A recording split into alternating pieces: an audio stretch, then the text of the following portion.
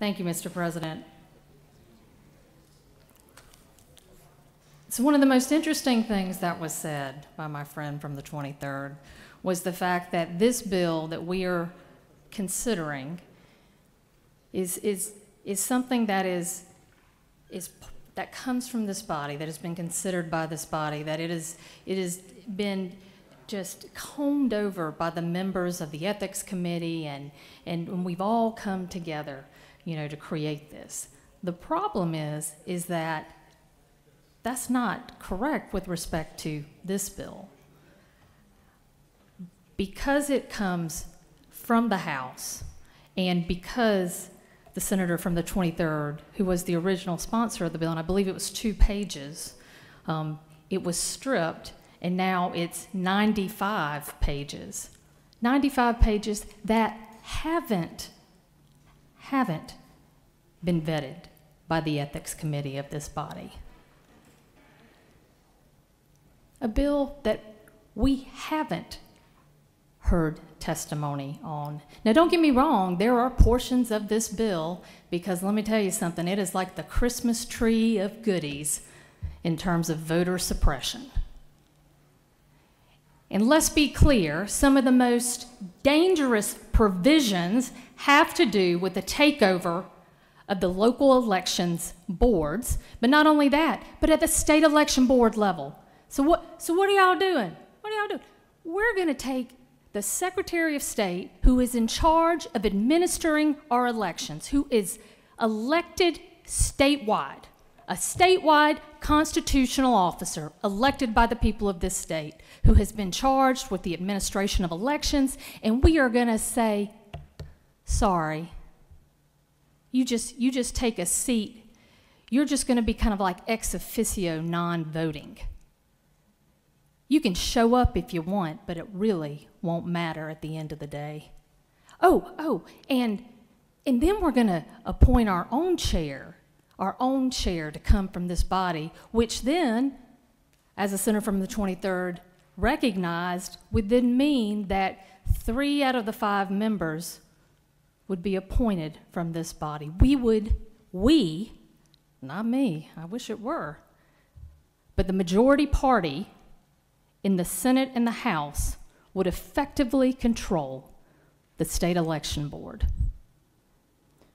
So then it gets worse because then you've got this performance review board that comes in and is going to, you know, go over, you know, these bad local elections boards to, to try to get them in line, right? Well, they issue a report and then the counties can't even appeal those decisions effectively. How you say, well, it says it's subject to the Administrative Procedures Act. Well, it prevents counties from using county money to pay attorney's fees for that appeal. So at that point, you have a county who has a bad decision that basically has suspended their board of elections and there may even be sanctions involved, and they can't even appeal it to a superior court unless they come out of pocket. And I don't know about y'all, but a lot of these small counties, people don't have money to be paying lawyers to deal with performance reviews appeals to the superior court. I will suggest to you that the whole point of that is to make sure that there isn't a review that no one ever actually looks at what is going on.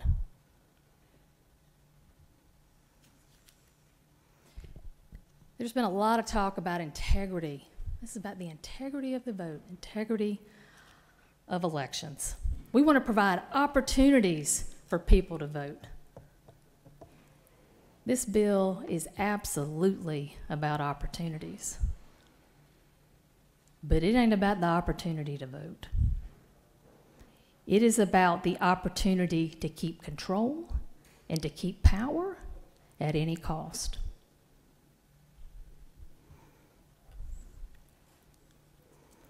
I wish I could go line by line, but it's fairly long. And I can tell you what I have read, there's a lot of mistakes in here that's going to cause a lot of trouble for local elections officials. This isn't going to make it easier. This is going to make it harder.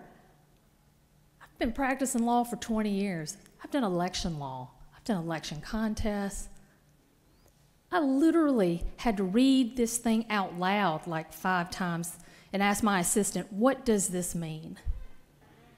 What are they trying to do here?